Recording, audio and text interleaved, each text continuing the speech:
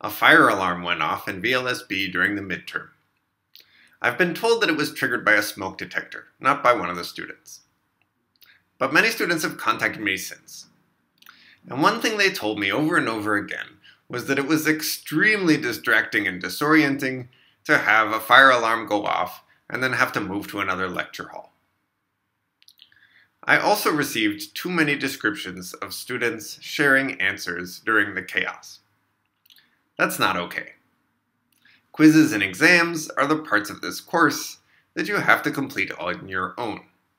And you all know those rules. Most of you choose to respect them, and I thank you for that. A few of you didn't.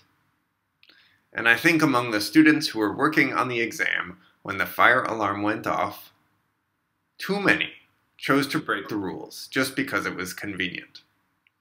What's worse, I have no idea who they were. I have some reports, but it's extremely hard to distinguish who shared answers and who didn't. So, I'm going to ask all students in VLSB who had not turned in their exams when the fire alarm went off to take a new exam next week. I will share the details just as soon as I have a room confirmed. I know that taking an extra exam must feel like a huge burden on honest students. But I learned something else from all of the feedback that I got. Students want a fair tests. And it wasn't fair to you that you had to be interrupted in the middle of the exam and move to a different place. It's also not fair to you that other students might receive higher scores just because they chose to be dishonest and share answers.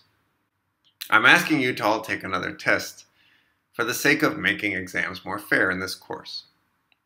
You can also expect a more controlled exam environment, with assigned seats and no bags or cell phones allowed. I hope that by removing the opportunities to cheat, everybody will be encouraged to, you know, just study for the exam and show up with a pencil and your study guide, answer the questions as best you can, and know that you were evaluated fairly.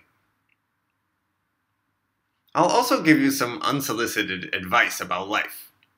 A big part of living a happy life is holding yourself in high esteem. Now, you're very bright and you work hard, that's why you're here, but it's not enough. And you'll likely be very successful, regardless of your major, especially if you've taken some computer science courses that prepare you for the world ahead.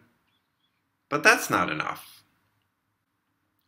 However, knowing that you have acted with integrity, that you've made a difference in the world, that you've built relationships based on trust instead of mutual benefit.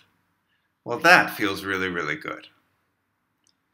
It's not too late, but college is an excellent time to start leading an honest life if you haven't already. You won't regret it. You could even start when you take your makeup midterm. Okay, so exams aren't graded yet, but we're getting close. We will release scores to the students who took the exam that wasn't interrupted by the fire alarm.